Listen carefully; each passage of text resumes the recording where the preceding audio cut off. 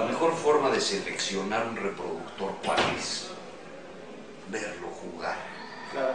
Para mí es sumamente importante probar a mis reproductores en, en- en- Los sementales. sí, los sementales. Mis sementales no van a ser los, o, o son pues los, los consanguíneos, son los que, los que cimentan el criadero, es la cimentación. Pero los híbridos, que son los mismos que juego, para mí son muy valiosos, porque con ellos puedo obtener esos mismos porcentajes de sangre que hago con los consanguíneos, cruzados entre sí, entre, entre híbrido sobre híbrido. Esto te permite, uno, tener una gran eh, calidad selectiva que te permite caminar hacia adelante generación tras generación. Siempre que ir para adelante. Claro. Hay que, hay que partir de bases como esta, mi punto de vista. ¿Qué es un buen reproductor? Para mí un buen reproductor es aquel que da pollos mejores que él. Ese es el que es un gran reproductor, porque eso me permite caminar adelante. No para atrás. Exacto. ¿Cuántas veces escuchas o hemos escuchado, eh, Víctor, quiero un gallo que ligue con mis gallinas? O quiero una, o qué bien ligó este trío que, que hice. ¿Qué es que ligue o que no ligue un gallo?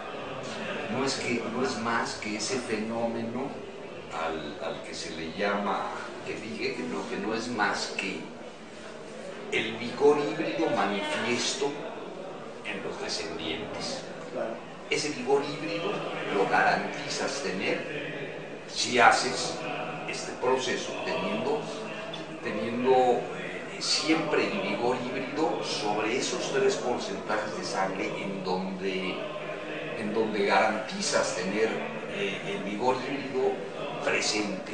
Luego, luego lo notas. ¿Cómo lo notas? Desde los embriones te das cuenta. Es decir, vas a tener mejores nacimientos. Son embriones más fuertes, nacen mejor.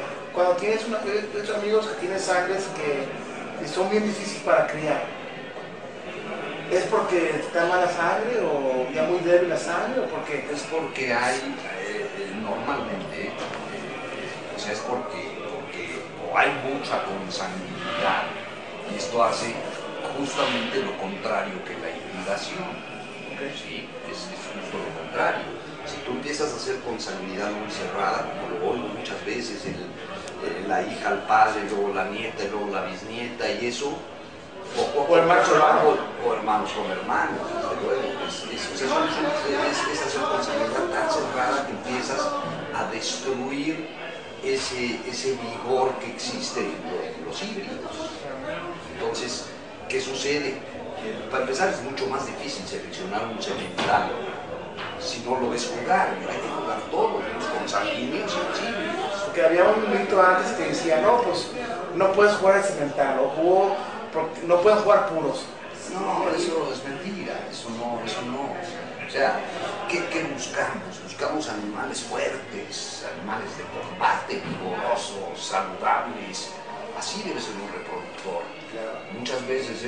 No, es que mi gallito ya no eh, estaba más chiquito, pero es que es puro y es que eh, para mí eso no sirve. Para mí un cemental tiene que ser un gallo, no, un gallo fuerte, saludable.